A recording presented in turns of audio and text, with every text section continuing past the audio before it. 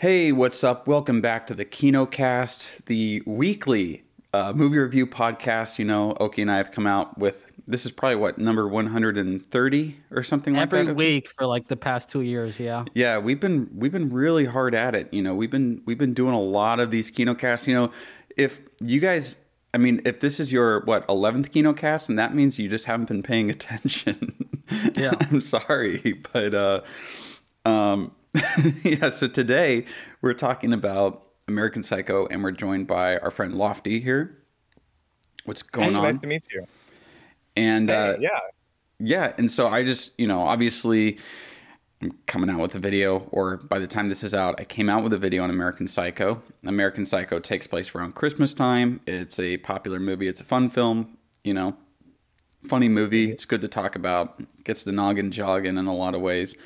Uh, so I figured we just get together and talk about this. So without further ado, uh, I'll start with Lofti and then we'll go to Oki. Lofti, has there been any point in your life where you've acted exactly like Patrick Bateman? Uh, I have put like residue on my face and peeled it off uh, once or twice. Did it feel good? Um, it feels great. it feels really good. Uh, aside from that, I don't think I, I don't think I did any. I don't think I committed any kind of violent acts against anyone. But yeah, don't remember. Although he doesn't remember either, right? No, it, it's Maybe- he- remembers, but we're not sure if he did Right. them or not. That's tr- that's correct. That's yeah. Yeah.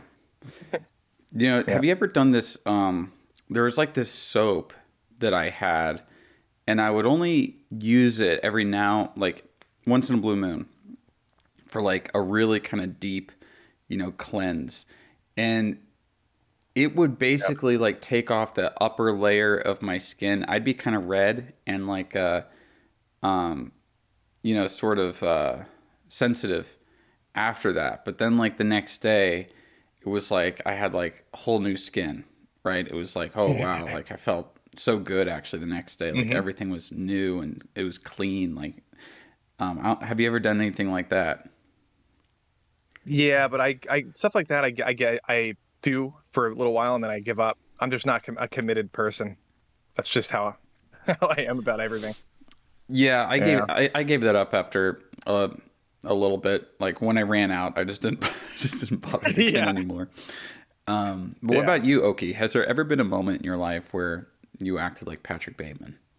Well, you see, every time I'm, I'm like in the club, I uh, talk to women and I say um, that, yeah, I work in uh, uh, murders and um, Executions. Execution. executions, but I mean murders and uh, I mean mergers and acquisitions. Acquisitions. Yeah, you know, um, I it's I, I'm very much similar to that. Where when I'm at the club and the uh, bartender tells me that my coupon doesn't work anymore and I have to pay cash, I frequently will tell the mm-hmm. bartender, "You're a fucking ugly bitch. I want to stab you to death and play around in your blood." I mean, I fucking love that scene. oh my god, that scene That is- too. that might be the best scene of the movie. It's a throwaway. It is. Of. It's a throwaway near the beginning. It's just kind of showing. It's Yeah. going through like a day or night in his life. Yeah. The first, he's having dinner at the one place. It's kind of like this pinkish sort of like gaudy restaurant with his friends. They go out to the club. At the club, they're playing uh, "True Faith" by um, New Order. By the way, which is an amazing song. Actually, that was my like Spotify or Apple Music. I, I use Apple Music. It was my most played song of last year. was True Faith by No New Order. Yeah, That's funny. Yeah. My most. Was that because you were just listening to it because you do a lot of videos about the subject, or no. I just love New Order. I just listen Oh, to a lot of New Order. Yeah. You ever seen uh 24 Hour Party People? No.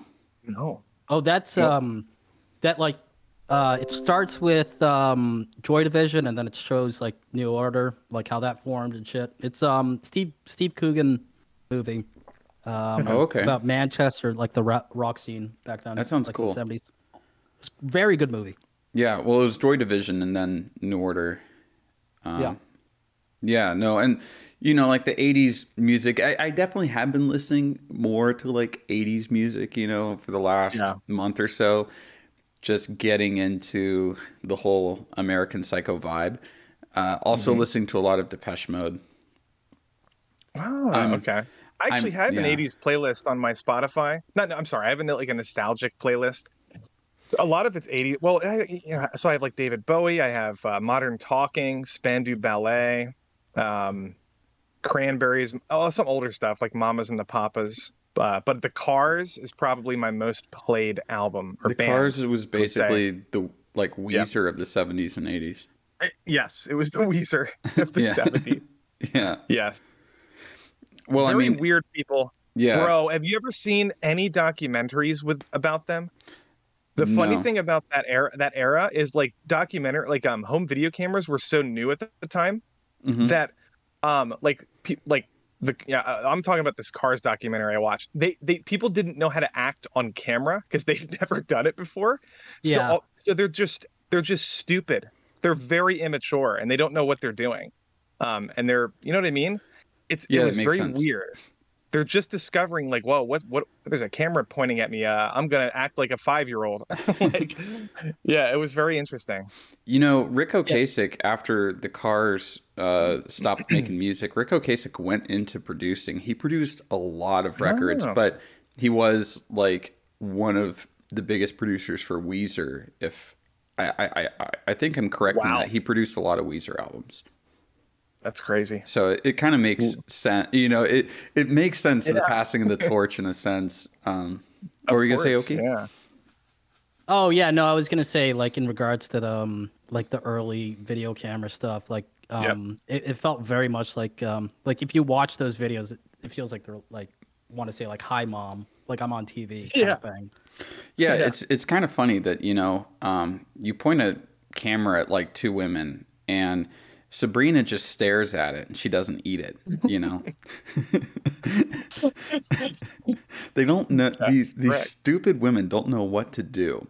Sabrina, don't just stare at it, eat it. Eat Eat it. it. Oh man. You know, it's uh, Bale- have you ever figured out how Christian Bale put um was was comfortable enough to be in character like that around women? Has he ever talked about that? yeah, yeah. He's talked He's about it. professional. He's Right. talked about I know Yeah, he's I know he I know he said that he thinks the movie is hysterical. He's actually he has like a twisted sense of humor. I mean, we all do, but so I, I like that about him. I like that he gets the you know he was in it, so I hope I hope he gets it. But like I've never heard him talk about like his performance. Yeah, yeah, yeah. So he's talked about his performance, um, and in an old interview, and uh, uh, what he Based said. on like Tom Cruise, right? Too. yeah. So, but it's it's pretty interesting. He said that there was no shadow over him while doing, you know, Patrick Bateman. That like when he was, you know, in a movie like The Machinist, it was it was more difficult or like it was a darker role. Um, that Patrick Bateman, he says, you know, he's essentially this hollow person.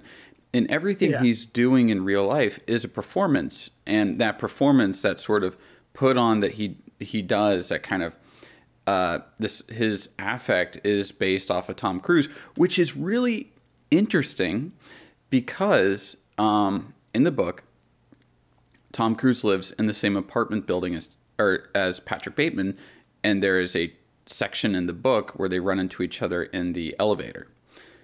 Oh. Yeah. Makes sense.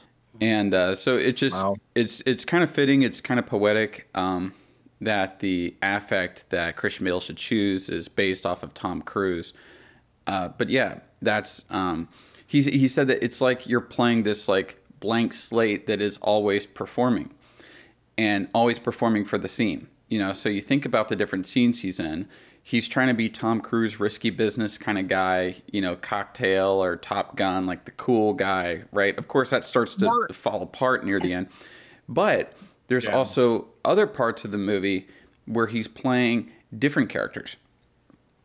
So he's playing Leatherface um, when he has the chainsaw. He, you know, and he's kind of imagining himself as the as Leatherface in Texas Chainsaw Massacre. He's he's imagine like he's imagining himself as like the the horror villain in this movie. Um, in this scene with the threesome, he's playing the the the, the porn star. You know, he's um, he's playing that character, which is definitely not Tom Cruise. You can kind of see the Tom Cruise isms with like the pointing at you know the whole pointing thing. Um, But that is definitely like like like masculine sort of macho porn star that he's playing. And then um, when he's like running through the streets, you know, doing the gunfight, it's kind of like he's I don't know a Bruce Willis or Mel Gibson type action action star. But of course, that you know during that sequence it really falls apart. But he's kind of, as Christian Bale said, it wasn't actually that difficult. It wasn't that draining on him because he was playing a performer. So it was kind of like there was this this level of like um, disconnect between him and Patrick Bateman. Um, that's interesting. I because I, know Tom Cruise in in real life when he's not acting is also performing. Um, that's just how I perceive Tom Cruise's like persona. Yeah, It's always like you know what I mean. Like he's always kind of um, he's always in character or not in character, but he's always um performing Yeah. yeah. or something. for Yeah, I've heard. I've heard stories. I've heard some stories from people who've met him. Well, so is a lot of people in Hollywood, by the way. I've, um, I know firsthand and for secondhand information from uh, about uh, Robin Williams. People who I know who have worked on the set with him say that they very similar stuff about him, where he's just he, even when the camera's off, when there's like a lunch break, and people are just gathering, you know, get, getting their sandwiches, he is performing for people, and he won't shut up. He just they say he's the most annoying human being ever well, but he's also really endearing and like you know i I, I guess all the Family Guy jokes at his expense were uh, justified then. yes 100% yeah um but i liked i like uh, robin williams i just kind of feel bad for his what he his mental state a little bit But, oh yeah, yeah. of course. Anyways, Oki, uh, you're uh, just listening here. Oh yeah, no, I was about to I'm say. rambling, I'm sorry. um, Tom Cruise, a lot of gay allegations that he sued out of existence. There's like Oh, three yeah. of them in a row. john travolta too Oh no, John Travolta is like he's he's just like it's clear. Like there's pictures of him like kissing dudes. hey, no, John Travolta. Grease taught me that John Travolta is the manliest man, very straight. There's no yeah. way John Travolta be, could be gay. Come on, he was in Grease and Saturday Night Fever, two of the most macho movies ever made. Super Saturday Night. Saturday Night Fever though, that is actually like fucking dark movie. Yeah. Like it, other than other than like the dancing, it's it's fucked up. yeah, I remember. I I remember thinking. I remember as a teenager, and I was thinking it was just going to be a movie about disco dancers. I haven't watched Yeah, it no, since. I gotta. like- I gotta it's like- revisit it. Uh, uh, yeah, I mean, fucking. There's like, uh, should I just spoil Saturday Night Fever? Is that fine? everybody's seen it Every yeah, okay, yeah. There's suicides. There's rape. There's there's all these. They're like they're all racist. Like they're straight up like saying that like calling people n words on, on the street and shit, and calling women like you know c words and shit. Like they, they're just yeah. It's uh it's a dark dark ass movie. Yeah. Well, John Travolta redeemed himself in Phenomenon, uh, where he was a good guy. I like Phenomenon. That's, a, I, mean- actually enjoy that movie. I mean, it's kind of a, it's kind of a goofy movie though. Like he gets the tumor in his, the brain tumor, and Well, that's revealed at the end, but the thing that's cool is like the build up. Like it's like, oh shit, this this ordinary guy is like really smart, and now like Yeah. uh, after fucking fainting, and then he could do magic, and it like goes on Yeah. like an hour like that, and it like kind of builds up, and that's a that's a good ass movie. Phenomenal. I like that movie. i just i just like how travolta's supposed to be like a, a, a high school kid in grease oh yeah. and- just like no, No. it reminds me a little bit do you watch jojo's bizarre adventure no, I'm not a ever see weeb. it? oh I watched I am. the first season of it. Uh, well, they're supposed to be high school kids. At least Jotaro in part three, and he's like the size of Arnold Schwarzenegger. Like it's so funny.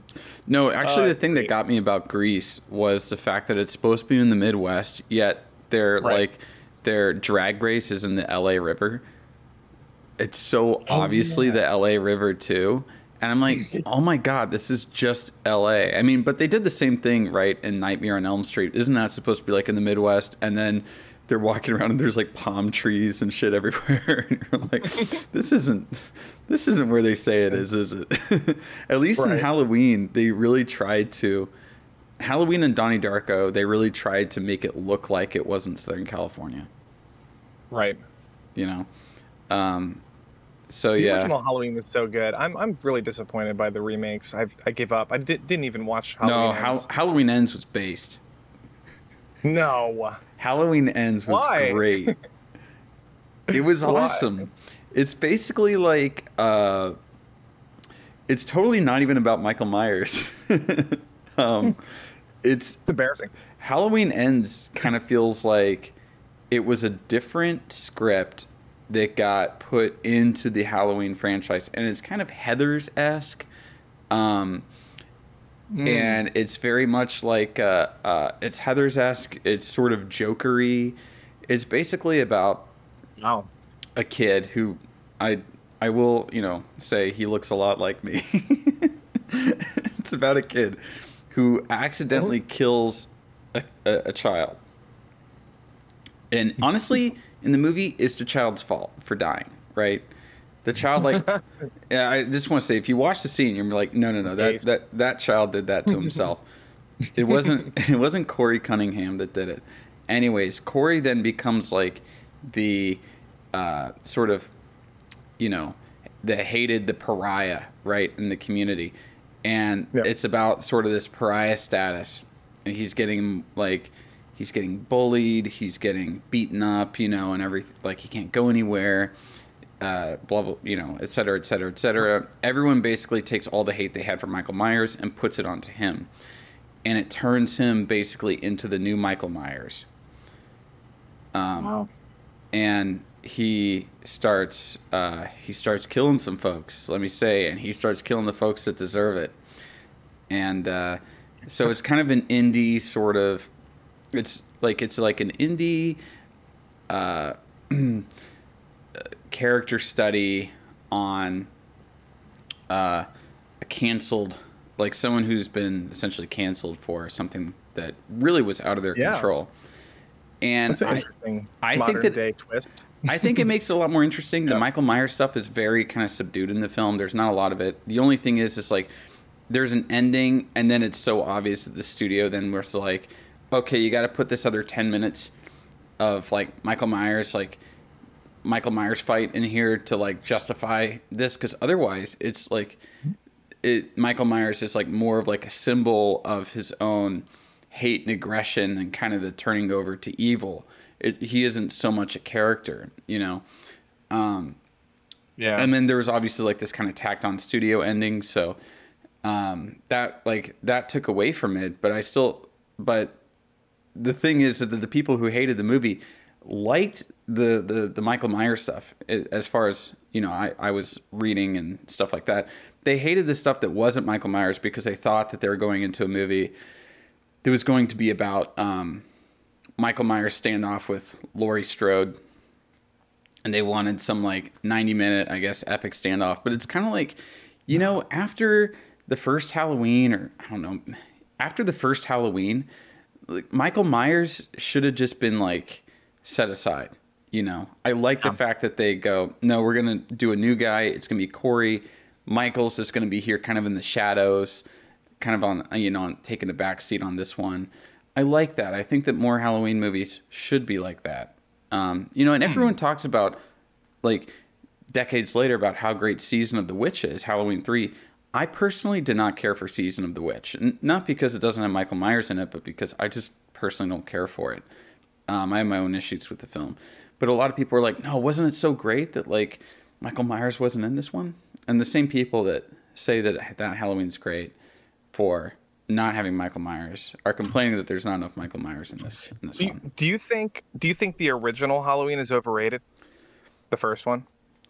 No, I don't because I think it's also fairly Okay. culturally significant. Like you have to Yeah. when it came out, you know, it scared people. Like really big time scared people. Um Yep. for its time, it was really scary and I and um, you know, because like this is late '70s, right?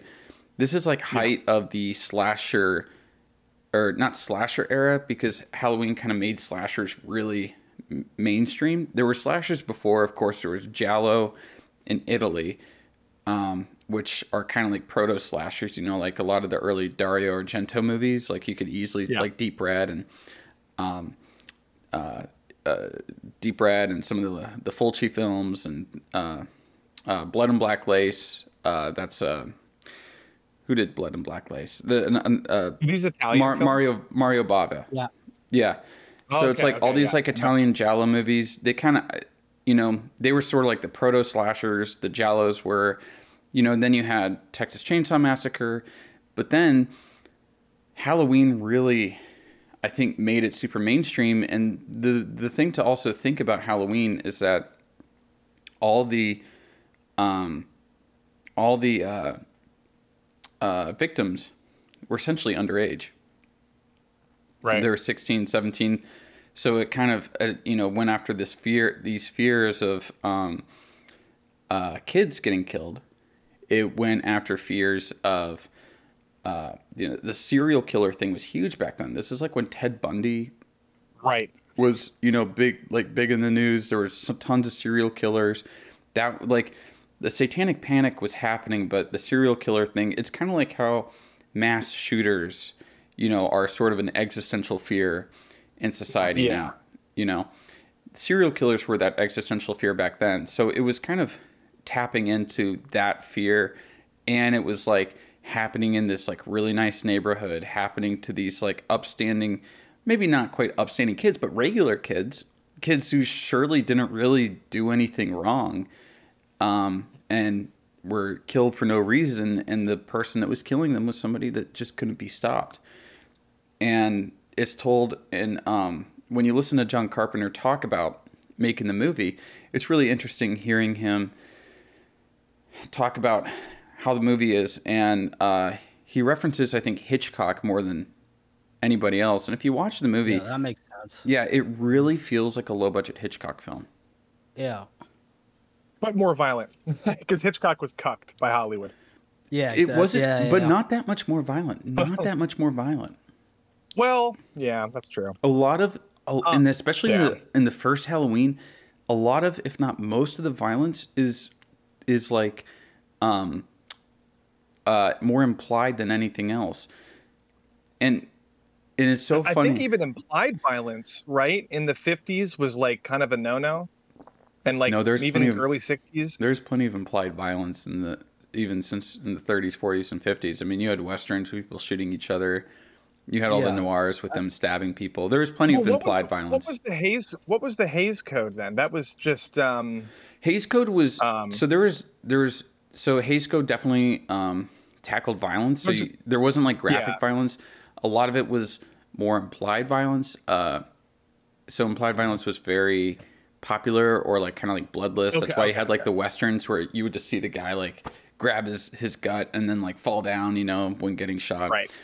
Hays Code was definitely more um, attacking uh, sexuality in media and attacking uh, miscegenation. miscegenation that was one Yeah. thing and sexuality you know depictions of sex and drugs basically Right. um, so they were definitely more uh, but they're, they're definitely more concerned with that um, than with violence but Yeah. violence was a part of it but it wasn't like the thing is is that westerns were westerns and action movies were already like so ingrained in pop culture you, you just couldn't get rid of violence in movies Right. I just keep hearing about Hitchcock and how he he was kind of uh, handicapped by. Oh no, he definitely stuff. was. He definitely was, definitely yeah. was. But I think that like the preferred thing back then would have been implied violence. I think they were also they were way more worried about like communists working in Hollywood and like you know Right. Right. yeah excising them than they were about like you know imp- something implied. Well, They would with be John happy about that. Carpenter, I'm I'm the reason why I asked the question if if Halloween overrated is because I actually it's my it's one of my least favorite John Carpenter movies, but maybe that's just um a personal thing with me. I don't know. What do you guys think? I'd say it's one of my Um, favorite of his movies. I Oh, think really? it's I think it's one of his tightest scripts. as well as has some of his best cinematography, like especially considering its budget and everything.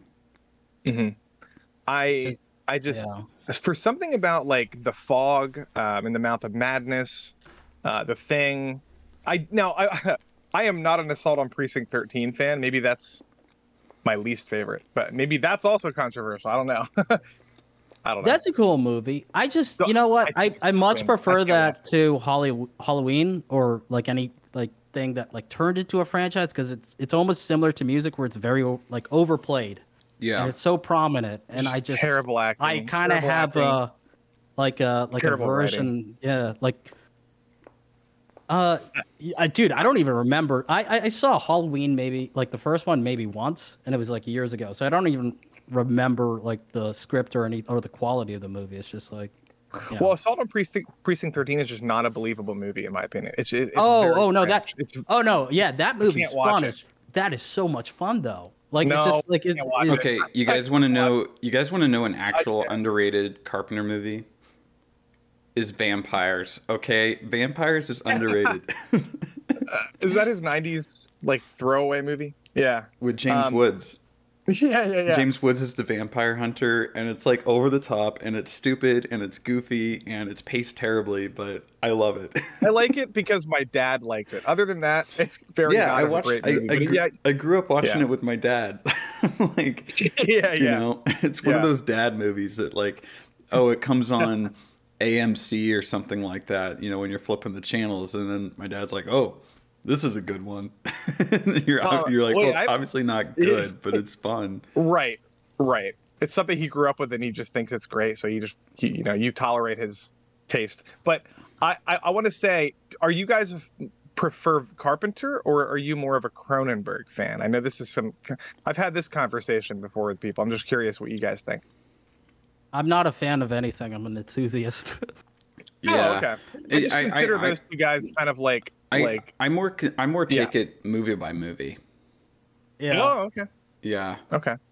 I'm a fan of directors though. Actually, yeah. I'm Yeah, a fan I- of both I- I- Carpenter and Cronenberg. I don't want to say one like I prefer one over the other, though. Like I I like just- both of them. Yeah, maybe I'm brainwashed, but I spent a lot of time on in like when in my early 20s on like film forums, and everybody was kind of approaching cinema through like the auteur theory, and we were all so like that's kind of how I don't know like. Uh, so directors to me kind of I, I just where my brain. I feel like- I feel like it's, whenever I think of a um, movie. Yeah, I feel like uh, less like auteur theory kind of thing, more so like Xbox versus uh, the PlayStation Right. kind of mentality. Yeah, Xbox for the win because Xbox has Xbox has High on Life, which is the new Justin Roiland video game.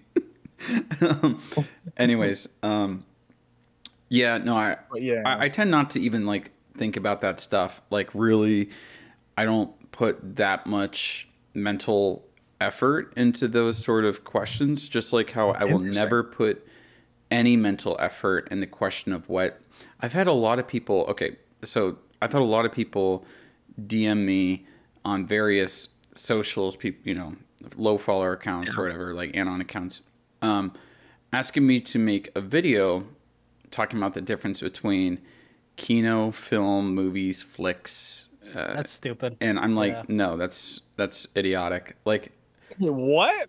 Wait, explain that to me. so on Oh, TV, are you- on TV, on Okay, the 4chan board TV, you know, like part of their autism is designating like, oh, this is a flick, this is a movie, this is a film, and this is kino, and I, I think there might be one other um, one other Oh term like designator, and I'm like that completely for It's all me. supposed to be ironic. Yeah, pe- these people are unironic, and I'm like that. Com- that to me is completely antithetical to everything. Everything I stand for in filmmaking.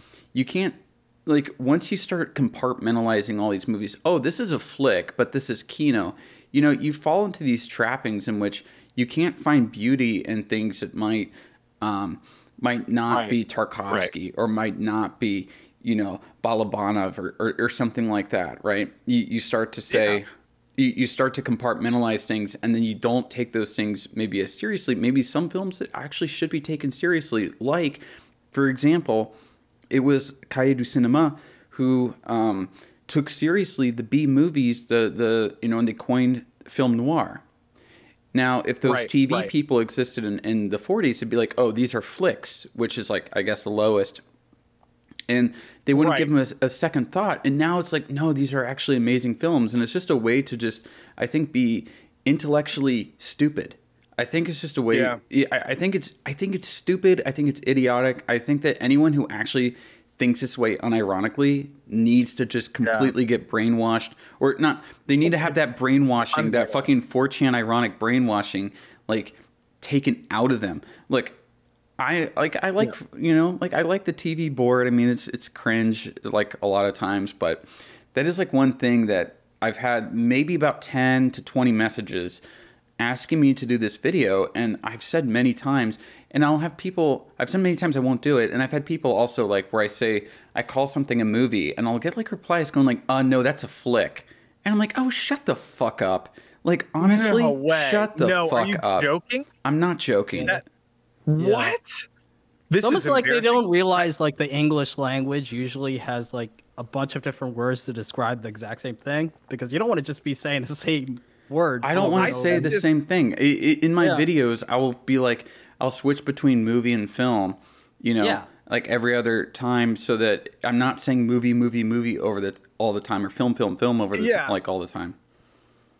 Well, like for me, okay, for example, back in the day when I was like 18, 19, 20, I was in, like I said, I, I used to do a bunch of forums. I, I don't know 4chan. I don't know. I didn't even, I don't use it. But I'm talking about, do you guys know Mubi? It's a streaming service. Yeah, Yeah, yeah. Okay, so before it was Mubi, it was called the, oh, actually, it was called Mubi before it was a streaming service. And there was a forum. Before that, it was called the Auteurs, like theauteurs.com.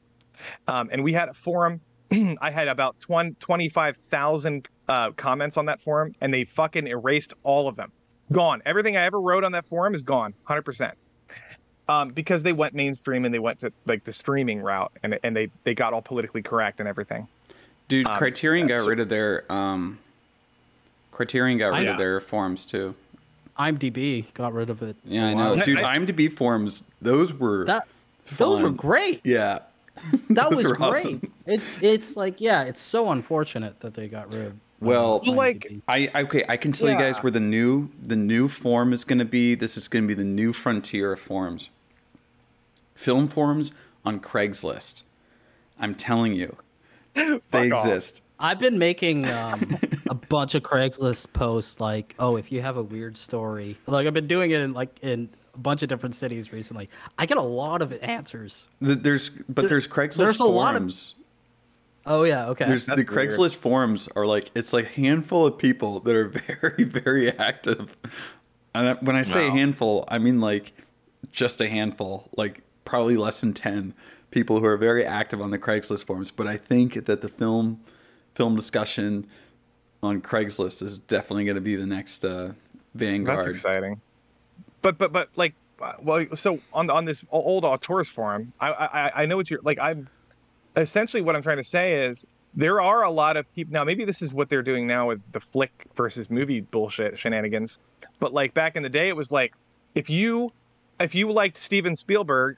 You're a you're a pussy normie uh, bitch that needs to get out of the community. It- but but if you like, otherwise, th- there was a hierarchy. of What I'm trying to say, people Yeah. who it, and and it's like if the, the more obscure you uh, director you could name like Šarūnas Bartas or like you know Wang Bing or all these we fucking weird like Czechoslovakian directors, uh, like the worse the more obscure rabbit hole you can find is like you're at the top of the hierarchy. Then you can determine what kind of activities happen on the forum and all of that stuff.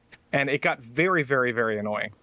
I, see, but- here's the thing, right? Yeah. I don't get why people um, feel like it's like this big virtuous thing to have sat down and watched a ton of movies. Yeah. And I'm saying that as someone who does that myself. I know. right? Like all, all of So, us like- probably watch a shit ton of films. But Yeah. there's a thing that happens for anybody who just like gets into film. Maybe they've been into it for a year or two. They have that thing where this impulse in them to show off and like Yeah. to be Yeah, big dog, like the big. Oh, I know all about films, and I, you know, I know the most obscure director. Like that. That kind of that's just it, al- it that's what it always breeds in, in, in those kind of Guys, when eh, you're young. You mean that you didn't watch all of Out One in one sitting? I it's never normie. seen- no. Yeah, no, You ever I, watched um? I don't get that What either the fuck because is that guy's name? I was gonna Um, say I don't get that either because um, you know the thing is a lot of the big popular movies like The Godfather, you know Apocalypse Now, North by Northwest, Vertigo, The Sunrise, A Song of Two Humans, um, Citizen Kane, The Magnificent Ambersons, like a lot of these big movies are also great and some of the best films ever. And I've seen I've seen you know quite a few obscure movies. Uh, yeah. and there's there's definitely great obscure movies but i've also seen plenty of terrible obscure movies and the obscurity doesn't make it better and also i just want to say that you know the only thing it really takes to watch a movie is to sit your ass down and stare at a screen for two hours like Sit your ass down and listen. yeah, sit your white ass down and listen to Jacques Well, you know what I think? There, there's there's another layer to this that maybe you guys agree with or not, but there's this kind of um um saf- like safari hunt or some sort of like hunting um layer. I- like I'm gonna I'm gonna go on a hunt for the I- most obscure movie I can find, and then and then it's like you have to go down the rabbit hole to get some of this stuff. I and- and enjoy that. I enjoy Yeah, that. I so I'm not saying yeah. that there's like I like there's, it. there's too. definitely something and like Kino said, there's a lot of shit. Like there's that theory that 90% of everything is shit. So of course, most of it's gonna be shit. But it is fun to like fucking find like Yeah. very obscure Yeah. movies. Like like for example, at this place in Dallas, I found the Criterion collection DVD that I bought of the Beastie Boys collection. Um and you know, I got that. They they sold it to me for a steal. They sold it to me for 5 bucks. I went on eBay and like the cheapest one's a $100. So um you know, and I've definitely I have definitely hunted down pretty obscure movies right.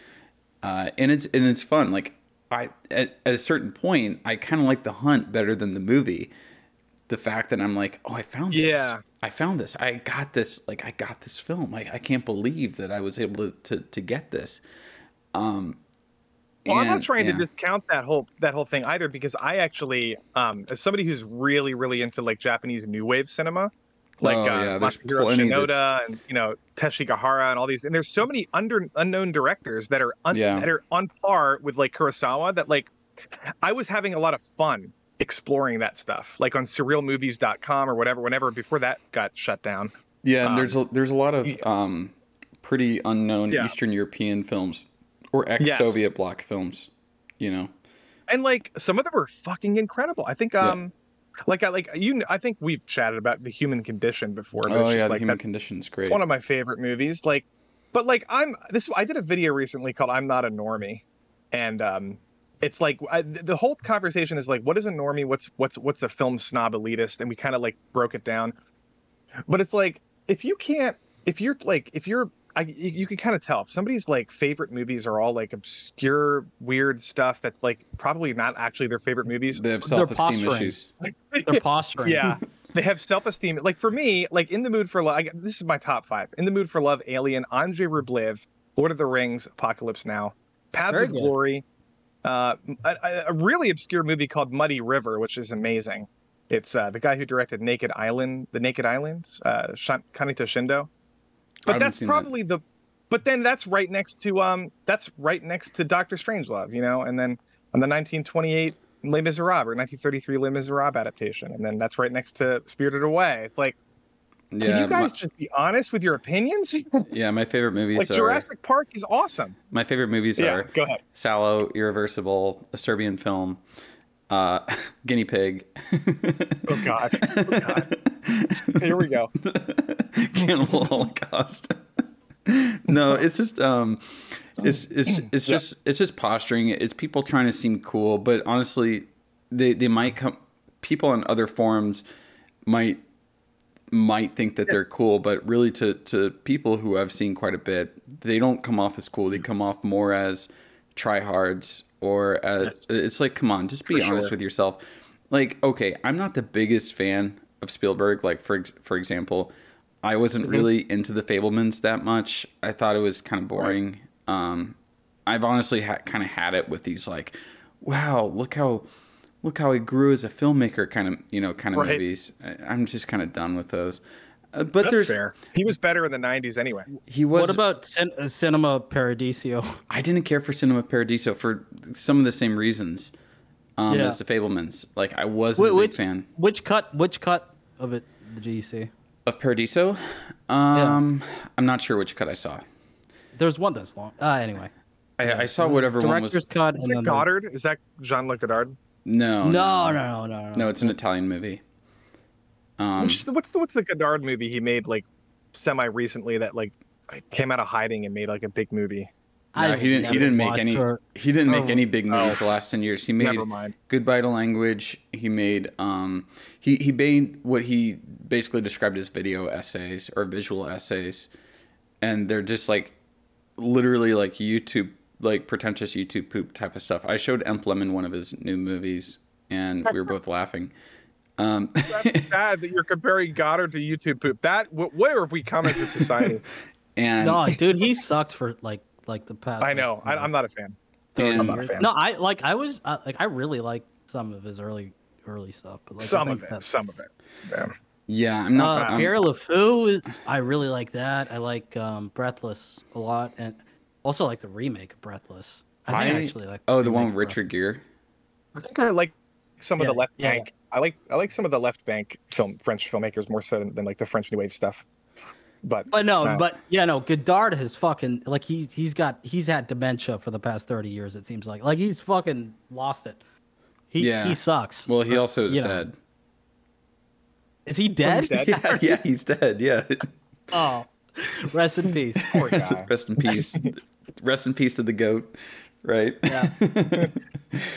um, no, like as far as like movies about people's like early lives, I much prefer films like Amarcord or The Hand of God. okay. To to to me, it's like, um, or you know some of the or, or Fanny and Alexander, right? Um, I've never seen that. I gotta watch that. Never seen it. It's- I haven't. I just haven't seen it. it, it's just like a um I, I prefer the ones that really kind of go more into the humanity and less into like the this is how I I knew that filmmaking was like right for me and, Right. and whatever. I, I don't know. What about Scenes from a Marriage? Are you a fan of that one? You know, I haven't seen scenes I from like it. marriage yet. Um, I've Oh, seen almost it's so I've seen almost every. No, um, one of my family members was telling me to watch scenes from a marriage last week. I've seen almost every Bergman film, just not scenes from a marriage. I think, I think I just have Right. some like exi- existential fear of just like watching, uh, watching a couple like fight on screen. You know, Yeah. um, so I've been. I I, I've I've owned it on Blu-ray for many, many years. So wait, why do you like Possession so much then? because possession is fun. like I haven't. I, I- haven't seen Dude, it. I, I- you know what? Here's the thing, right? I Yeah. watched it Yeah. recently because you were like, "Oh, let's do a thing about Yeah. it," and it's it was like ten year gap since the last time I saw it. I think I liked it more the first time I saw it, but this time I fucking hated it. You I couldn't stand it? it. it ga- yeah, because I woke up. It was like two a.m. I took a nap. I had a headache, and then it's the thing about that movie. It's, it's incredibly shrill. Like it's like people are just screaming the whole time. And I had like a uh, I'm gonna bad run to the bathroom quick. You guys fight about that movie. I'll be right. I'll be right back. I apologize. Oh yeah, yeah. I'm not uh, even fighting. I'm not fighting. I'm not trying to fight about it. Like I'm just no, no, I mean, it like, is a matter. It is a matter of taste. Like, and I say in my video that that style isn't for everyone, and I'm sure that if you're hungover, it would not play very well with you. I wasn't even hungover. I was just like, I guess I didn't drink like enough water. I was dehydrated. I, I, I took a nap. I woke up, and I just had this bad headache. And I'm like, I I watched it, and I just was like, damn, it's too much. yeah, But I, it, No. you know, it, the thing is, it's a thing of like, if I was in the right state of like mine at the point when I watched it, I would have been. See, totally, you, sh- you should have would've been, fine. You should have been more drunk and less hungover. I wasn't hungover. no, but you had the headache. You had the headache. Like obviously, you, you know, this reminds me of um, one of my favorite movies is Elio Petri's Investigation of a Citizen Above Suspicion. I gotta watch that still. You've been talking. The, I, I- think that- that's the first movie that you mentioned when I met you, actually. Oh, okay, yeah, and I've seen it a million times, but um, I uh, I remember when I had COVID a couple years ago, and I was with my parents. It was actually over Christmas, so it was exactly two years ago. Um, because I was at my parents' place for uh, during we all got COVID, um, and I was actually like honestly, COVID like didn't really do much for me. Like I felt fine after like two days, and I just was watching a lot of these like we are just watching movies all day because I just you know we just had I mean what else is there to do right? Um, so we were watching like Ugetsu. I think that's when I watched The Human Condition. Um, watched a whole bunch of these films, and I put in Investigation of a Citizen Above Suspicion, and that also is a fairly shrill movie. Um, I mean, shrill not in this like it's just very Italian of all these Italians always yelling at each other, and the Yeah. thing is, is that if you're not, if you're not sick and you're not hungover and you're like in a pretty good like state of mind, it's You can really, take it. You can take it, and it's really fun because it's like. Blah, blah," you know, it's like, oh, it's fun. It's like looking at, you know, Italians kind of going at each other's throats and screaming and, you know, and being very, very sort of, you know, uh, uh, theatrical and everything. It's really fun. But when you have COVID and you kind of have a headache and you're just not all there, it's really difficult, I have to say. So easy to put you off because, like, it's like, fuck, man, I'm just trying to chill. Mm-hmm. like, I'm back. I'm back. you know, Sorry. yeah. But anyways, let's get back to American Psycho. We've talked about literally. Yeah, every by the other- way- by the way, this What is are we like an hour in? Out, like how how fucking long have we? We've been doing this for like 50 want- minutes or an hour. an hour. An hour. An hour. Dude, yeah. I, dude, I could do this for days. I'm dead serious. I, lo- I love this shit. I just don't have anyone to talk to about it. Um, but So- here's the thing. Uh, Uh, the the writer of American Psycho. Brady I want to know. I want to know this because it's I've never looked into it. But was he really like 19 when he wrote this? No. No, no, he was Why- 20. Why do I? He was 21 when Okay. he wrote Less Than Zero. Well, I say Oh, wrote, okay. but when released. 24 when he came out with the Rules of Attraction. And then I believe 27 or 28 when he came out with American Psycho. Now he's just now he's an old, angry queen with a podcast. Dude, he makes a lot of he makes a I- lot of money on his I- podcast. I know, but I I used to listen to his podcast, and it, it's it's a it's a lot. It's it's a lot. To take. He's always complain bitching about something. yes. well, you know what's funny is when you listen to his podcast or like listen to some of the like recordings that he's done, especially like reviewing reviewing films because he, he was talking recently about how he did, how he really likes being a movie critic. So we should try to get him on the Kino cast. Do it. Do it. Do it. I think we. I think you. I think Kino might be. You might be cl- close to doing Would you something get- like that. Would you get him canceled? No, no, I don't do think. that. No. no, no, no. He, he he he would be no. We would be more likely to get canceled by having him on than him l- more YouTube likely would to, shut your to be- channel down. or you know, you, you know, it, it- it's like him coming onto our podcast would make us cancelable, not the other way around, right? Because He's Wow. way, yeah, he's way more Hey, I, controversial all I'm than saying, the, of us. the reason are. why I'm saying that is because Zack Snyder came. Well, I'm I'm friends with the Geeks and Gamers guys on YouTube, and um, th- there was a big controversy. Zack Snyder came on uh, to talk about a, a movie, and and he got essentially he got canceled for coming on their stream. it was a big deal, but um, yeah, I don't, don't think know. that would happen with Who- Bret. who's, um, I think Bret's. wait, I who's- think I think Bret who's has Geek- done Yeah. enough. Geeks and Gamers. Yeah. So what? So what They happened? just well, Zack Snyder came on to promote one of his um oh, I want to say Batman versus Superman. And uh the Geeks and Gamers guys are a little bit, you know, I guess conserve too conservative for some people and they make jokes about, you know, whatever. Uh, politically incorrect jokes.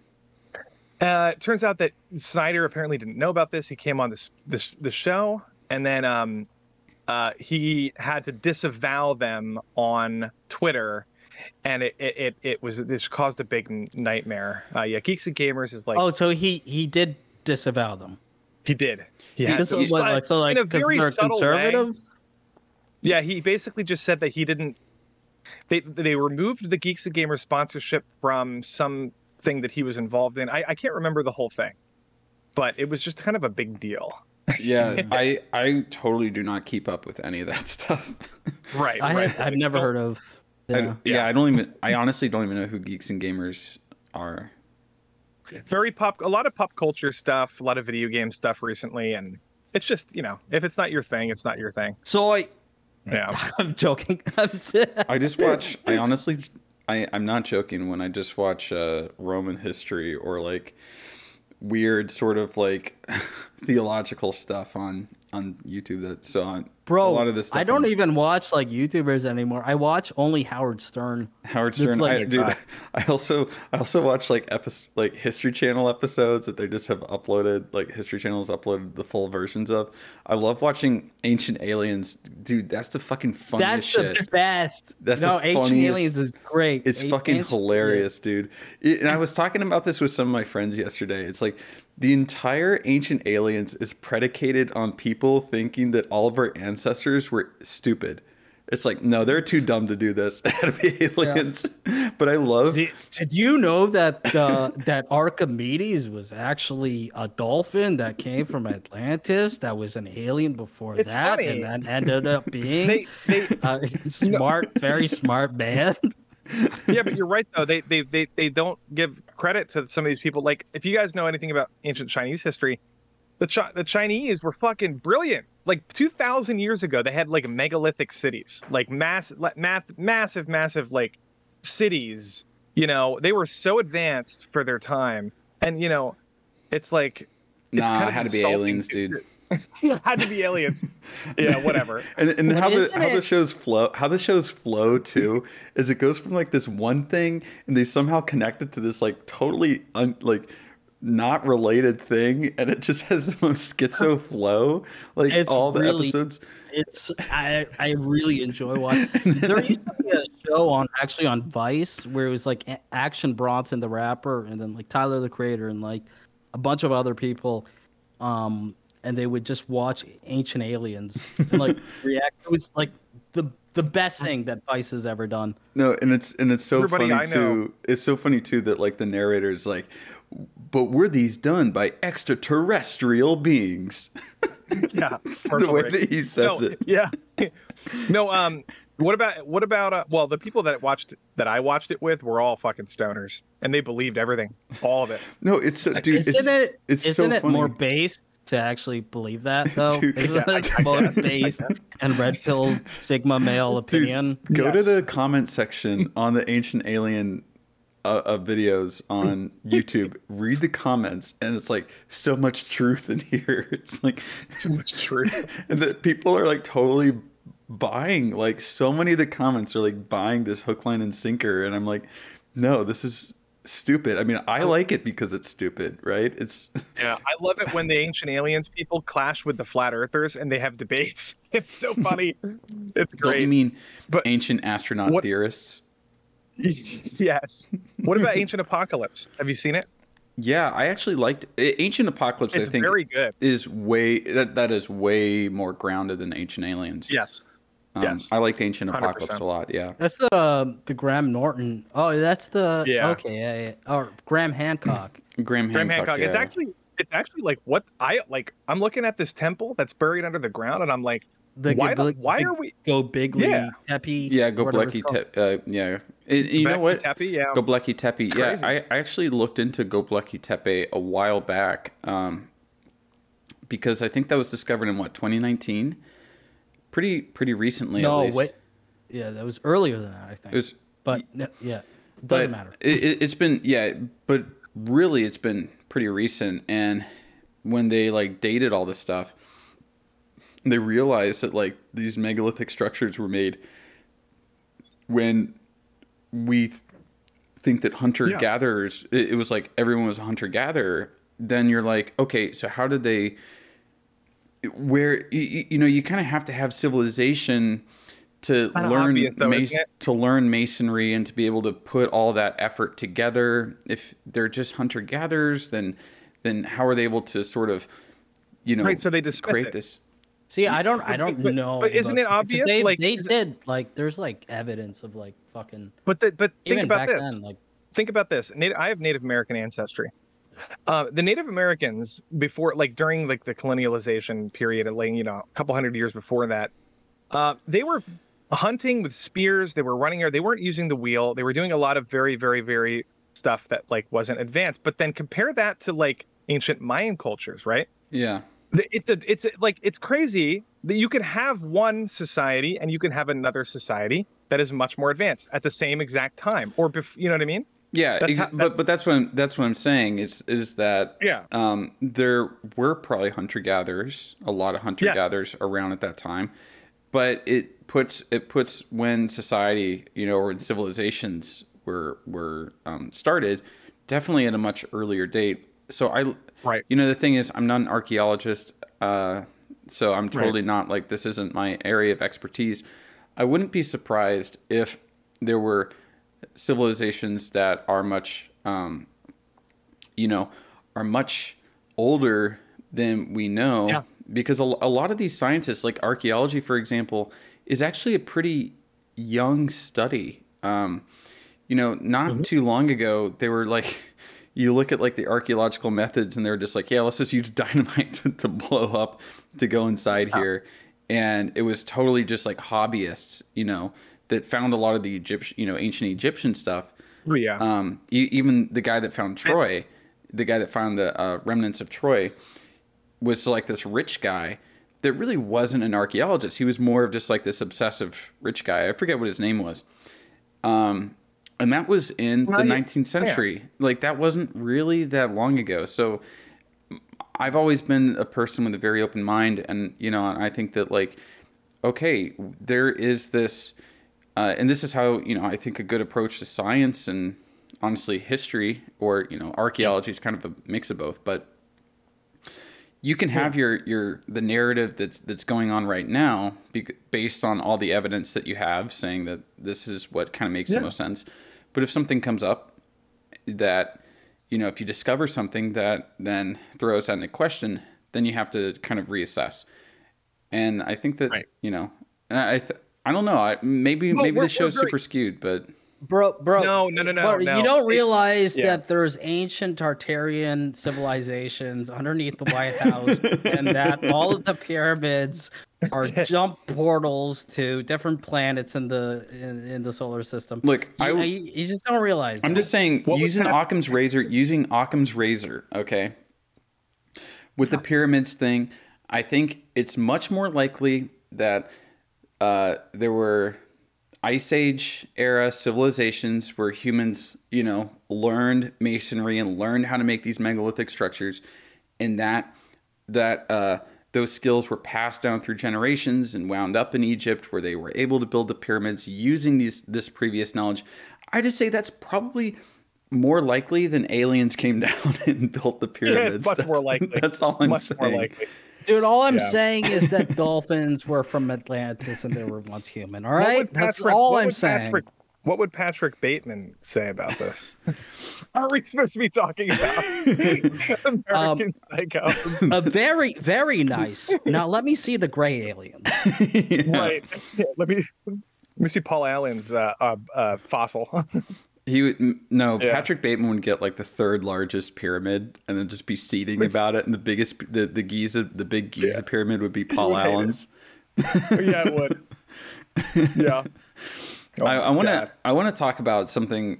Uh, you know, we were talking about how Halloween earlier, like, really doesn't have that much um, that much actual violence in it. And editing together this American Psycho video, I realized the same thing about American Psycho is that it really doesn't have that much violence in it. It's it's a pretty um, you know, I, like people people have told me that they thought that it was like really graphic or really disturbing and you know, I've seen it a million times, It- but really no, it going through it.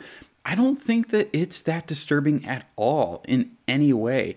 I think I it's think actually, the most, even the most disturbing that it gets is him dropping a chainsaw uh, down a Yeah. stairwell, And you it- don't and even that's see cartoony. impact. Yeah, His laugh is more disturbing than the chainsaw. Yeah, and I, I remember I remember Christian Bale said that the violence and he says the violence and terror is more in the atmosphere than it is in anything you actually see. Um, Actually, can I can I can I give a maybe you'll agree with me. I think the most disturbing scene in the movie is his mental breakdown on the phone with his lawyer. No, I, I- agree with that. Whenever Yeah, I yeah. watch that, I I like I start sweating. yeah, that's a very good point. Yeah, no, I'm, uh, fucked up, I totally dude. agree with that. I'm kind of a It's sick so guy. fucked up.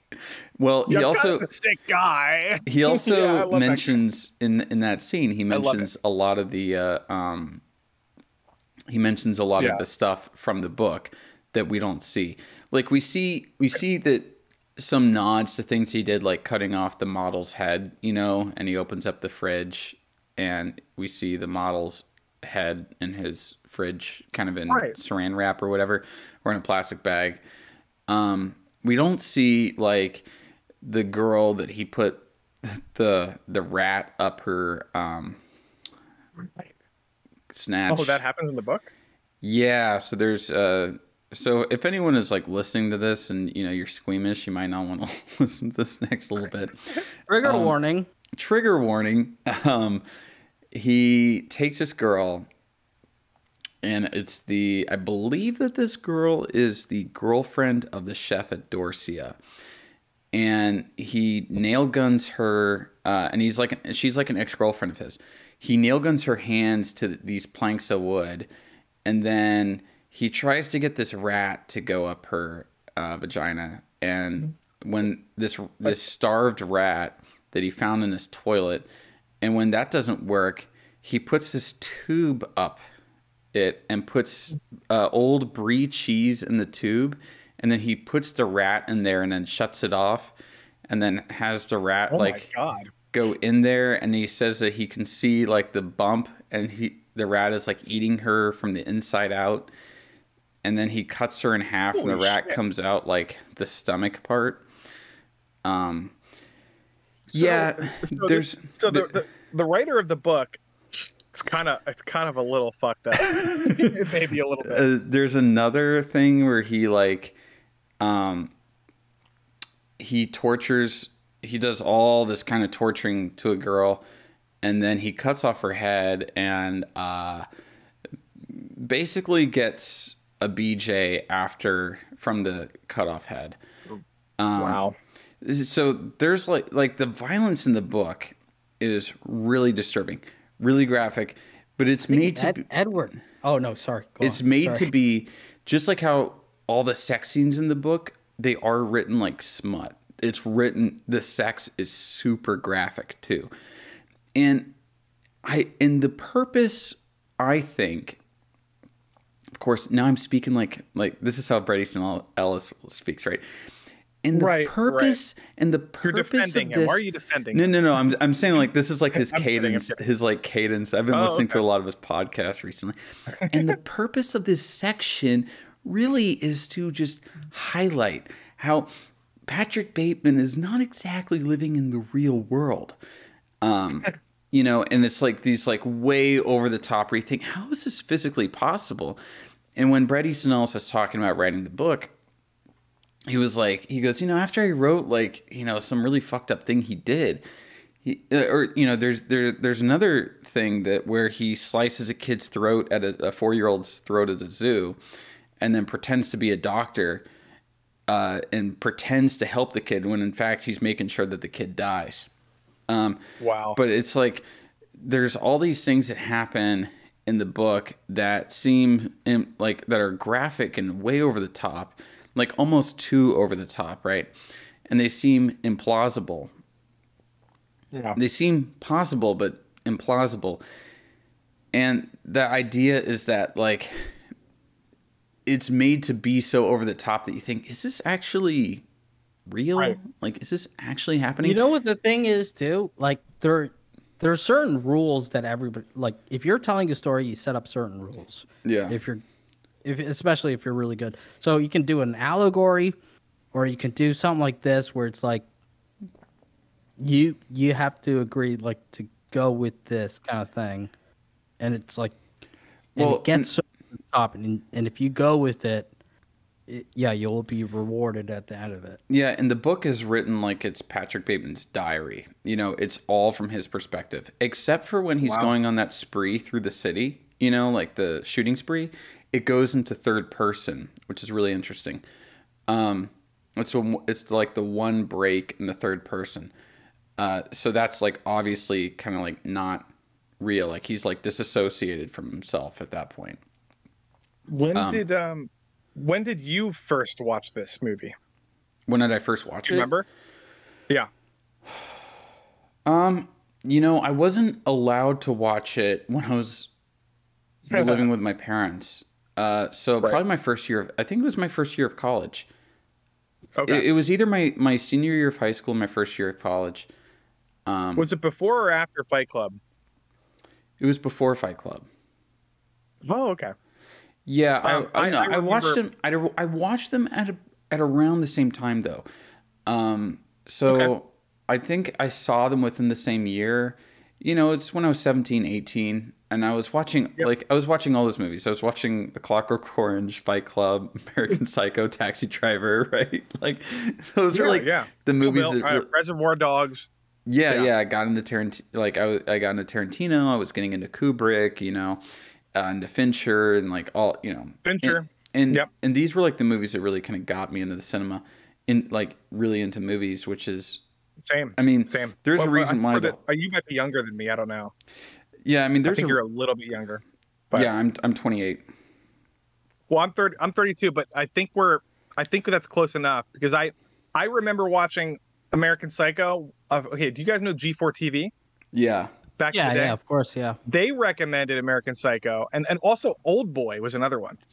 Um, and I was like maybe 16, 17, and I just somehow got a hold of it and watched it. Like that was like, yeah, yeah. Maybe maybe I watched it a little bit before you. I'm not sure, but that's yeah. It's about similar stories. I mean, Yep. you're younger than you, but like the thing is, like I Okay. remember, like, just like just fucking torrenting all of this shit too. Oh, okay. yeah, yeah. I mean, it's just like these movies, and one one reason, obviously, like these movies are also popular popular on the internet now, especially among young men. I mean, that makes sense, right?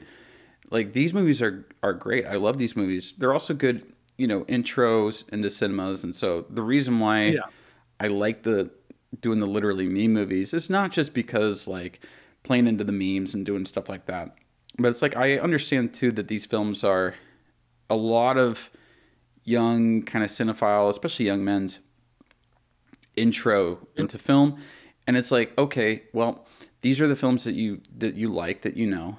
Let's like let me like show you how to kind of look at it from maybe a cinephile or like a sort of anal- analytical perspective, and then you can you know and it's like oh i know this. Oh and it gets you to like watch it in a different way. And then when you go and you go deeper into the film world then you start like you know looking through a more kind of analytical or more like art appreciator kind of lens rather than just a kind of the the um, green lens of like just watching you know just watching the movie and not really being That's completely with or completely understanding of like film knowledge and film language.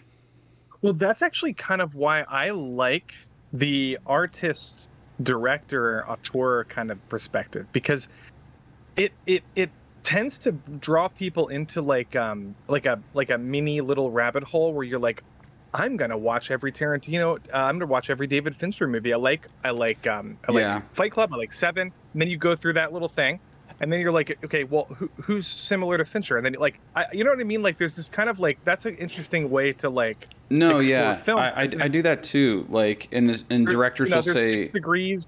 Yeah, directors will say like who they're inspired by, and then I'll go and I'll watch Exactly. the the people that inspired them. Like, I remember I watched Wes Anderson was uh, when I was a teenager, and then he was talking all about these French New Wave films. I just and then I started binging like Truffaut and Demy and Malle and like all you know all these like uh, all these people and um, you know and eventually like got into Duvivier, uh, Renoir and and, and there's this there's- just like a ton of like really interesting films that you can learn about if you're paying attention. You know, you say that you know they'll say like, oh yeah, this movie is very much inspired by this other film, very much inspired by this director, et cetera, et cetera, and it kind of leads you on this cinematic journey.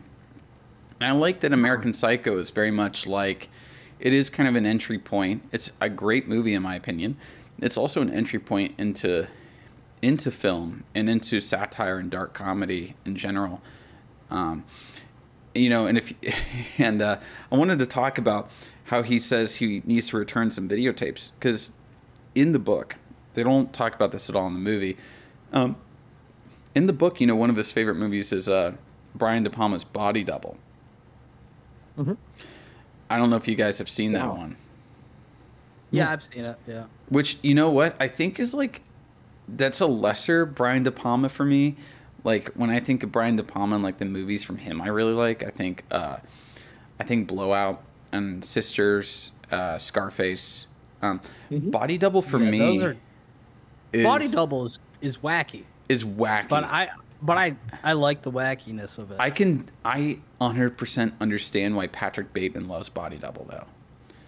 Like, yeah, like it's this guy that gets it's about a fucking yeah. yeah. no, you yeah, say. Go on. No, no, yeah, you, you it's a fucking weird ass pervert. Oh, I'm looking at it right now. Okay, okay. This is the guy who did. Uh, for some reason, Brian De Palma. I was like, oh, that's the guy who did Carlito's Way. Then I guess he did a bunch Yeah, of. he- other Dress to Kill. Yeah, Yeah, okay. he um, I thought dude, was a- he, like a he's mob also another gangster. guy who's really uh, inspired by Hitchcock. Body double. This looks interesting. It's a very interesting movie. I will say that. Um, but it's like this pervert who's like staying at like he's like house sitting this that for this. He's like a kind of a B movie actor that's kind of washed up a little bit, or he- he's not able to kind of make it. He's staying at like this rich guy's rich friend of his house. He's house sitting for him, and it's one of those like modernist houses that's like almost all like mm-hmm. windows and so he can see into all these houses in like the valley below him and Right. um, he starts and it's kind of rear Hitch- there's the Hitchcock. yeah it's kind of rear window esque or even north by northwest esque you know like a kind of like the house in north by northwest but Or the first, the first scene in Psycho isn't the first scene. Oh, or am I thinking of a different? no the first scene in like, psycho's in the hotel through a room window. well oh, what am I thinking? no psycho goes in through the window into the Right. two of them Tippi Hedren or whoever Oh, the Batman. The. Batman. There you go. He's peeking through the window at uh, at uh, at the Riddler killing that Yeah. guy. Remember that? Oh yeah, that's Yeah. right. But what I'm saying is that um, so then he starts spying on this girl. He starts kind of perving out on her, and Mm-hmm. kind of like Rear Window, he notices that something. It's been a couple of years since I've seen it, but it's like something bad is is happening to her. There are people who are trying to kill her, you know, things like that. So he kind of goes into her world. He starts trying to figure out who she is. She's this porn actress, and so he kind of gets into the world of porn and. Um, he's uh, there's this whole conspiracy. It's a very kind of convoluted, wacky movie, and you're Yeah. not quite sure if it's in reality or if it's not. It has tons of sex. It has tons of like violence, you know, um, and I like you Wow. you you watch that movie and, and it's kind of about a guy who really doesn't have much of a grasp on reality, and you're not really sure what's real at the end of the day. And it's like, oh yeah, of course this would be what Patrick Bateman watches. like, of course this is like this is the movie that is is brought up. Um, um, you know, and Bret Easton Ellis is a big fan of genre cinema, and he talks about genre cinema quite a lot. He talks about kind of his aesthetics, and he likes, you know, like a big thing that Bret Easton Ellis talks about is is liking aesthetics over ideology. Um, but Brian De Palma is one of Bret Easton Ellis's like favorite um, film directors Okay. and uh, you know, so of course he would he would factor he would factor that into um, American Psycho. Uh, but I wanted to also talk about like with the whole videotapes, media consumption, and everything. Uh, is one of the funniest uh, chapters in American Psycho is when he goes to the video store. Uh, when he goes to the video store, there's too many movies for him to choose, and he ends up having like a panic attack because there's too many films. And I think then he just decides to rent Body Double again. Oh my god. Like I he- feel that. I feel that. yeah, exactly. I been think every, everyone who's like browsing Criterion Channel, Netflix, or whatever, like I, I have no idea what to choose. I gotta, ch-. and um, and then, And then I just watched Kill Kill Bill for the twentieth time. yeah, or for or Yeah. with me, I would watch Fifty First Dates for the twentieth time. Dude, oh. I like. For me, if you're saying Fifty First Dates, if we're if we're competing in the romantic comedy realm, it would have to be Along Came Polly. Yeah, with that's, Ben- Ben I Stiller. think that's a Fuck. better. Fucking love that movie. Dude, I okay. Yeah. I'm gonna watch Fifty First Dates tomorrow. Right? You know why? Okay, I'll watch Along Came Polly because tomorrow. Because I'm going on a plane. I'm going on a plane back to Florida, and Fifty First Dates is like when I go on a plane. I put on Fifty First Dates. I just kind of get into this like Zen meditated mode. It's like that. It's that movie for me. I'm just like, okay. And the old guy next to you is like, "What the fuck?" No, I mean, I, I just, I know, no, I just look like a normie. Like that's also Oh, the that's good true. thing. I That's just look like a normie watching an Adam Sandler movie on the plane. Uh, Unlike the gu- normally would be watching Bullet Train. yes, thank God you said that. Okay, go ahead. Well, see, unlike unlike triggered by that movie. um, uh, when I was flying, uh, me and my coworker Ian, who was in my possession video, he's also in my American Psycho video. I just kind of rope him into my videos now. I'm like, Ian, you're gonna be in my video now. And He's like, uh, okay. And I'm like, um, Damn. And, well, uh, Ian was a girl. we, uh, I hey, I got a girl to be in my American Psycho video. Okay. Oh, I heard about that. I heard about it. Um, there's there's a couple girls are real? There's a couple girls, okay. Although I try to get, you know, there's these two girls, right? And they show up. Okay, so here's here's like the the funny thing. So there's these two girls, and I I still don't really know their names, um, but they've shown up at so many of like the events that I've been at, and they know my name, and I always get their names wrong every time I see them.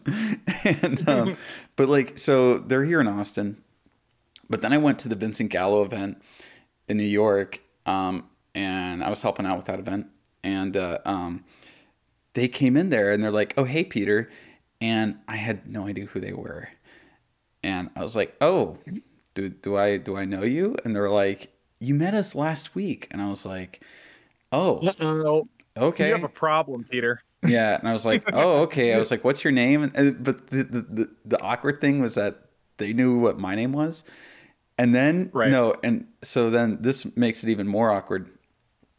So then a few weeks ago, um, I'm at a party with um, uh, Sam Hyde and I are smoking cigars outside at that uh, post post fight Go. to Brandon Buckingham party. Um, No, no, no, no, no, no, no, no. and Okay, I believe you. I believe and- you. I was just shocked for a second. and uh, they come up and so we're sitting around the fire it's like sam turkey tom and me smoking cigars and sam and i are trying to tell tom that he shouldn't be a nihilist um, and uh, um, Nobody should be a nihilist. and Yeah. so then these two girls come back up and they're like oh hey hey peter and i recognized them from the new york thing i'm like oh you're the new york girls and then they're like yeah and i go what was your name Oh my god, So- I feel bad. yeah, it was Why do I feel bad for them? I don't even know them. I don't I don't I mean I hardly know them too.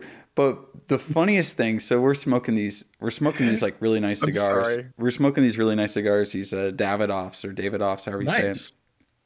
Nice. Nice. And um, you know, I, I got some I got some nice cigars, right? It was a big night. It was a big night for the boys. And uh and so and it was honestly like they were really nice cigars. I, I, I don't smoke cigars that often, you know, it's like maybe a once a month thing. Same. Um I go to a cigar shop a couple times a month and just hang out, but that's about it. yeah, like This is also a bar. It's also a bar, and I'm just like, I'll drink whiskey, and then people just give you free cigars. Yeah, Go to cigar shops if you can. It's- no, it's yeah, th- there's time. a there's a really nice one uh, here in Austin, Yeah. and and you know, Yeah. and they're nice, and it's like more low key stuff and whatever. But Yeah. my friends and I, like when I go to a party, I'd rather kind of like stand outside and like smoke a cigar with the guys rather than drink a lot. Yep. So, um, anyways, so uh, these, you know, we're talking, we're like, oh yeah, these are really nice cigars, and I was, we're kind of coming to the end of the cigars. They were big cigars, you know, and so near to the end, I was sort of done with it. I, I was like, okay, Yeah. um, Feel a sick. yeah. Well, I wasn't getting sick. You know, you just kind of like hit that point where like, you know what, I've Right. had enough. Like, um, and so one of the girls, one of these girls was like, Hey, can I try the cigar? And I'm like, okay, sure. Like, I'm kind of done with it. I was, I just hand it to her and I'm like, yeah, yeah, you can have the rest of it. Like, there's not much left. And so then I go, I'm, I'm talking back with the guys and then I hear behind me, this isn't good. And I look back and she Oh, she has- inhaled it. no, no, no, no. She had she opens her mouth and all this like ash comes out of her mouth on her lips, and she's like, "How?" And she's like, "Why do you like this?" And I go, "Did you just put the wrong end of the cigar in your mouth?" No. No. she did. I that is something I've never seen in my life. and she looks so just like sad and like kind of traumatized with all the cigar Oh, no. ashes just coming out of her mouth. And she was like, you know, sticking her tongue out. She Wow. That's gross. it was nasty. Dude, I, I inhaled a cigar my first time and I, I got sick and I had to jump off of a, a moving bus to throw up. This is a true story. It was really bad. Don't inhale cigars. Yeah, Smoke. I um, you know, I was 18. My I was in uh, Nicaraguan. Uh, actually, I, I turned 18 while I was in Nicaragua. So my dad and I got cigars, and you know, he taught me how to like basically not inhale, and because of that. Yeah. I have not really been able to smoke cigarettes or anything because I just naturally just do not inhale. Well, that's the thing, right? I don't get the point of cigars at all. Hey, Patrick Bateman Right? smoked cigars. He smoked a cigar right after he killed Paul Allen. Okay. Yeah, but even still, right? He Like, so he did it so even though I. I, I want to be on my Sigma Sigma male grind yeah, set, your grind. the thing is, Well- I just don't get the point Because- unless you're getting the nicotine high. You are, but you are flavor. getting the nicotine. Like you do, You do. get the experience. Like you do get the nicotine uh, affecting you. It just goes, it goes into your system through the membranes in your mouth, um, rather than through your lungs. Because it's Yeah, like it's way true. more powerful than cigarettes. You just got to accept it, dude, and dive into the And you- cigar world. Yeah, you just have There's to. It's also about the aesthetic. You know, it's about the Yep. taste. It is aesthetic, yeah. Yeah, it's about the about the taste and the It's, aesthetic. it's about like the combination of like cigar and whiskey. Cigar come and whiskey it's all kinds so of- good, dude. It does hit good. Yeah. yeah. One dude came in and was like, "Hey, you guys ever?" I was at a cigar bar and he was like, "Have you ever ever had a Cuban?" I was just like, "No, I'm never." And he just sat down and gave us three Cubans, me and my friends, Yeah, and th- I was like, "Okay." People yeah, are that, very that was friendly with cigars. that was one thing. Yeah. Um, yeah, Cubans have been legal for about a few years now. So, um, Right. you know, five or maybe six years or something. They've been, they've been legal for for a while now.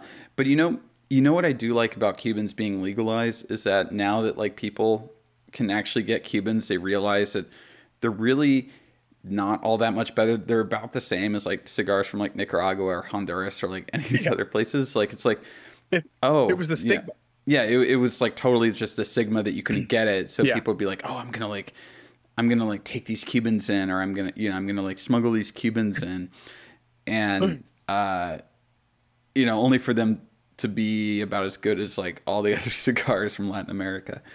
Um, but uh, but yeah, no. Um, I love it, man. let me see. W- crazy. We we've hardly kind of talked like okay. Here's here's a question, and and then we we should start like wrapping this up. I know that this is like I'll I'll title this American Psycho plus um extra The boys, talk. the boys. the boys talk. yeah, chat, chat with the boys. Or something. Actually, it's don't that much different than any like other KinoKast. yeah, yeah. We, We, we like talk about the movie for like two minutes every single never time. I think we on did that with Donnie. Darko too. I think we just Yeah. barely talked about the movie and then just like went into something else. Man. Um, but uh, do you guys think that Patrick Bateman did the murders?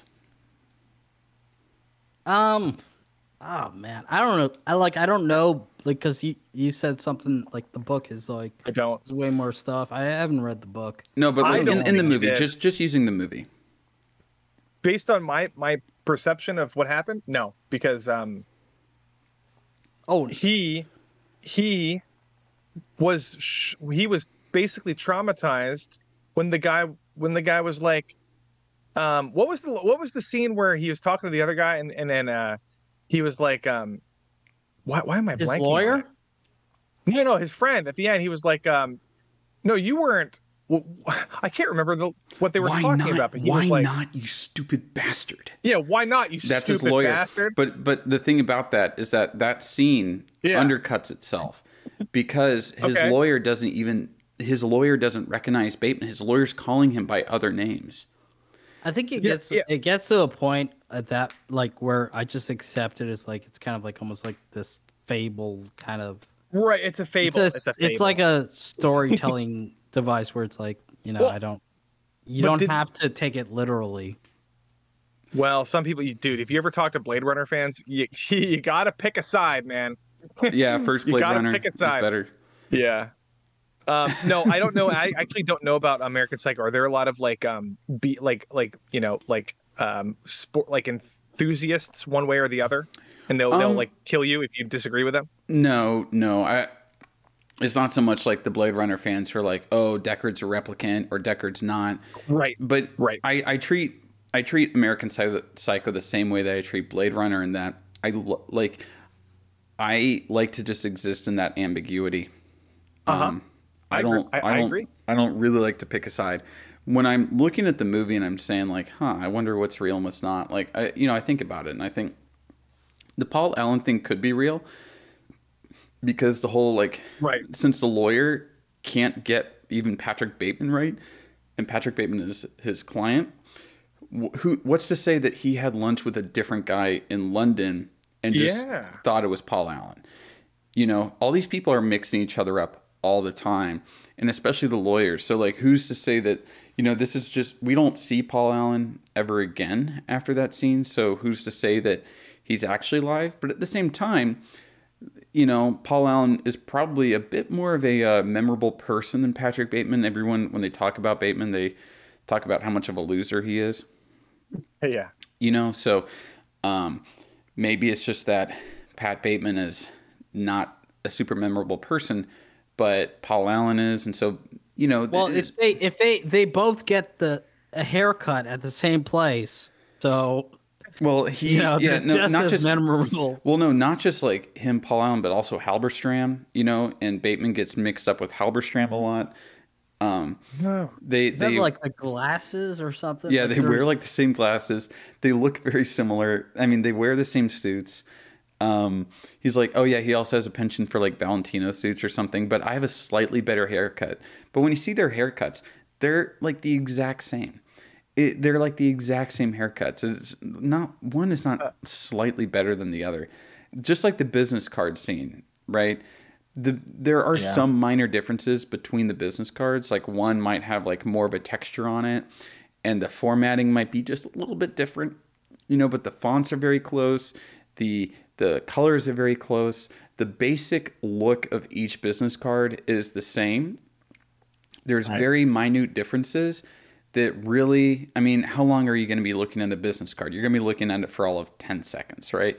You, you're, or, or less. You look at it, you go, oh, okay, great. You put in your thing and you only bring it out if you need to find their, uh, um, you put in your Rolodex or whatever if you need to find their like phone number. It's really not like something you pay that much attention to. And, Right. and the thing is, is like, if you um, compare Patrick Bateman's business card to Paul Allen's, they look very, very, very similar. And his also looks very similar to um, Van Patten's and Bryce's. And uh, it, there's there's only minute differences. But the thing is, is that if you were to like put them, take off their names and show them to people, I don't think that a lot of people would be able to tell you, oh yeah, this that's definitely Van Patten's, that's definitely Bateman's, that's Right. definitely Paul Allen's, that's definitely definitely Bryce's. And I think that that's just sort of a microcosm for the whole film, where in the whole film there are, you know, small differences between each person, but they're so close together. They went to the same schools, you know, they they wear similar suits, they have similar haircuts. Uh, they look similar. I mean, they're all like white guys who are like 27, 28 years old, and they all work basically the same jobs. So for a lot of people, they're gonna mix mix these people up. I mean, it's almost like they're Mm-hmm. they're interchangeable, and um and Pat Bateman. I think what you're doing Whereas is they're- They're as you're justifying- interchangeable as ivory versus eggshell patterns on a. yeah. yeah, exactly. I think you're justifying that you that you were just pr- prefer to stay in the ambiguity. That's what you're trying to do. Well, what I'm Right? what, no, what I'm saying is that what I'm saying is that this whole atmosphere, this whole world, right, makes it very believable that he could kill Paul Allen, and Right. people just mistake all these other people for Paul Allen, and they just think he's fine when he's not, when he's dead. But at the same time, you know, you also have to think, well, you know, maybe these guys do know do know who Paul Allen is, and maybe he's actually not dead. Like who's Right. who's to say? It is because of this that you can't you can't really know because we don't see Paul Allen. Um, we only hear Right. about it through secondhand sources later on. So, I think the Wow. one I'm I'm kind of like I like the ambiguity. I think that it's more obvious in the book that he kills the two prostitutes, you know, that he videotapes. Um, like that's when he has like the threesome or whatever. Um, I there's a couple threesomes in the book. Um, but you know when he goes back to the apartment and he's wearing like the uh, um, Yep. the the mask. Uh, I think it's more. It, it's made a little bit more clear in the book that those murders were real. At least it feels that way. Um, and then I think that the homeless, I think that the homeless guy is definitely a real murder, just because like murdering some black homeless guy in an alleyway in 1988, um, New York City, like no one's gonna investigate that, Yeah. you know, Mm-hmm. like you, especially like, and no one's gonna think some Wall Street guy did it. Like they would think it was some like mugger, some kind of low life. Yep, that's what just happens to to guys like this, and that's really about it. So I think that that definitely happened.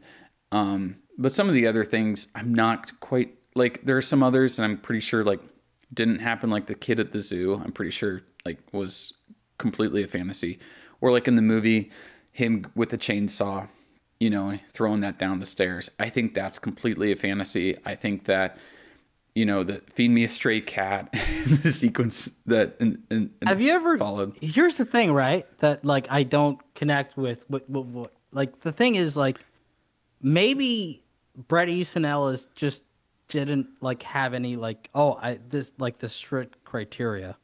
Maybe it didn't matter. Maybe like to him it doesn't it doesn't matter if he did it or not as far as like what i've heard about him in interviews where he says like he wanted it to exist in that ambiguity because he didn't want people thinking about what was real and what was not and because if you know what's real and what's not 100% then you're not really in patrick bateman's head you know that like part of it was getting you into right. that mindset. Yep. and hmm. keep keeping things a bit unclear keeps you in that kind of that tension that he creates and, and that's created in the movie. Like there are things you know you look back on and i say that obviously didn't happen like ch- throwing the chainsaw down the stairs or you know shooting the, the car and having it blow up. But then there are other things that you're like you know what? Maybe that did happen and you know the paul allen thing the homeless thing even the model thing like it, it's more implied um it's off screen but cutting the model's head off but it's like how many models are there in new york? When mo- one model goes missing like in late 80s new york you know probably there's just a lot of people that probably think she's on some like coke binge or something you know? Or she just decided to go back home or something and like it's kind of a very it's you know it's kind of a world where people don't really care about other people so you know they probably wouldn't even look into it and he met her Guess what? yeah Yeah. I guess what I'm like questioning is like the impulse to like um be like try to like make a criteria for it, right? And be like, "Oh yeah, this is what he's saying," right? yeah You're I- I talking th- about like um like the like the the very like kind of rigid um Like the Um, so, people like- who are so trying to like unearth some hidden meaning. so it. Bret Easton I just- Ellis do you think that he actually wrote on paper exactly what happened in this column and exactly what happened in this No, colum. he and did- then- No, or no. didn't in Absolutely this not. Column, and then Absolutely not. to that, because and then like because or, if he did that, if he Yeah. did that, there like it would be really easy to identify what's real and what's not. That's what I'm saying. Yeah, like that to me that's that's all that matters. It's like I think an artist can just skip to just fucking, you know, eh, I'm not going to do all that bullshit. Like I'm going to write this from the perspective of Patrick Bateman and you can fucking believe what you want. Yeah. You know what I mean? Patrick Bateman believes it all. That and, and So, that's the but thing. would you be disappointed if you go to Bret Easton Ellis and ask him about like some obscure, like obscure thing in uh, American Psycho? Like, would you be disappointed if he didn't have an answer? No, no, no, no, no, no, no. No. Okay. Also, also, I'm disappointed. I'm- I'm on board with you I'm there. Disappointed. I'm disappointed when they have an answer. Usually speaking, when a lot of this stuff comes up, like I don't even want to too know the answer. autistic. It's like it's like, dude, I don't like. I don't I want to know an answer. I you know one of my favorite interview answers was David Lynch, and this guy was like, "So, uh, what are like what are the themes of Mulholland Drive?" And David Lynch is like, "I don't talk about don't like that themes, movie. Johnny." It's- he was just like he's like I'm not answering that or like or the other one was like I think Eraserhead is my most spiritual movie. Uh, elaborate on that. No. I don't I saw- like either of those movies, especially Mulholland Drive. Oh, I Can't love stand both of them. really, Can't stand it. Yeah, I don't like it. It's dude i saw i saw a david lynch clip where he's talking about like it's like um it's following it's like a documentary following him making inland empire. Yeah. and he and there's a scene where he looks to his production assistant and he goes i need a japanese girl uh twins siamese twins in polka dot outfits. And they're miss both of them are missing arms. God, that's wild. That's David I Lynch like for you. I, I like Blue Velvet. I will say Oh, I love that's Blue a we, Velvet. that's that's one of my that's probably my favorite David Lynch thing I've ever and the rest of it not a fan honestly. I'm not a fan of David I'm Lynch. A, I don't know I'm why. A, I'm a huge Lynch guy. But anyways, let's start wrapping this up. So, uh, so we talked about, you know, um, body double. We talked about uh, whether or not we think he did it. Uh, there anything else that you know you guys think we might be missing that uh, might want to put in? I mean, I, I think we Uh, hit. I, th- I mean, You're- I, tom cruise Tom Cruise. Yeah, we talked about. shout outs to tom Shout out to cruise Tom is Jared is that Jared Leto's best performance? No, he. You know, Jared Leto. Jared Leto also gets is pretty good in Fight Club. He also gets the shit kicked out of him in Fight Oh, Club. I I think that, about that. Here's here's here's my um, hot take. Jared Leto is pretty talented. Yeah. I'm I'm I'm kind of like I, I don't really care about Jared Leto. I'm not as much a Jared Leto hater as like other people. the Um, dude can act, and then he Yeah, can he can. his Pretentious own. dumbass. but but I will say this is He that comes back. He comes back after a after a, a, a cult after some sort of getaway in the middle of Africa or something, doing some kind of like you know, the millionaire what the millionaires do. With they go away and they do meditation, and then he comes back. Jared and goes, hey, Leto. he, Oh, go- no. he goes, "Hey, it's COVID." I never heard of COVID. It's like in the middle of the COVID pandemic. He comes back. He's never heard of it. I, that guy's a pretentious fucking dumbass. based. I don't know, man. It's I, kind of based. I, wish it was based. I wish it was based. I No, it don't know. I think- Jared Leto, Real. most based person in the universe. All right. KinoKast certified Jared Leto. yeah. If you just say the word base, then it's certified. I don't give. I get. I disagree. I don't know what Jared COVID Leto is. on a tier list above Stanley Kubrick. Oh my god. Stanley Kubrick's maybe like a B. Jared Leto is definitely an S. That's tier. We're going there. We're going there. Hey, it's Paul Allen. It's gotta be based. yeah, he's Paul Allen. Look, he's like better than everybody else. He's Paul Allen. Yeah. He had, a, he had a reservation at Dorsia. Anyway. Stupid motherfucker. Anyways, guys, um, I am cutting. I'm cutting it off here because I still have to finish my video on American Psycho. So um, I'm trying to finish that tonight. Uh, you know, ilaha illallah Muhammad Rasulullah. I don't know. What, I don't know what that means, but um, thank you. And uh, so, anyways, guys, uh, thanks for coming on. And hopefully, this is coming out on Christmas. So, if you guys have anything to plug, uh, plug it right here. Uh, I I just got a YouTube channel, Lofti Pixels, hello FTI, and I just do a weekly stream. I got a, a bunch of movie content. If you guys like movies, I got a bunch of stuff lined up. I do tier lists and all kinds of stuff. Um, but yeah, that's about it. Yeah. Nyoki, you got anything new Um, you're working on? Y- Oki's Weird Stories, best uh, YouTube channel ever. um, Well, I got a video about uh, a guy, a director who's making a kids movie about dolphins. I don't know. oh, okay, Cool. Is it better than Brie Larson's YouTube channel? That's that's the question. It's the best. It's, it's, it's Okay. Okay. yeah. And obviously, Pretty wild. guys, check out my channel. I'm literally the only Kino YouTuber. Um, there's no other. Uh, the the Kino community on on YouTube is very small. it's, it's me. I'm the only person in my community, which is the best way to be.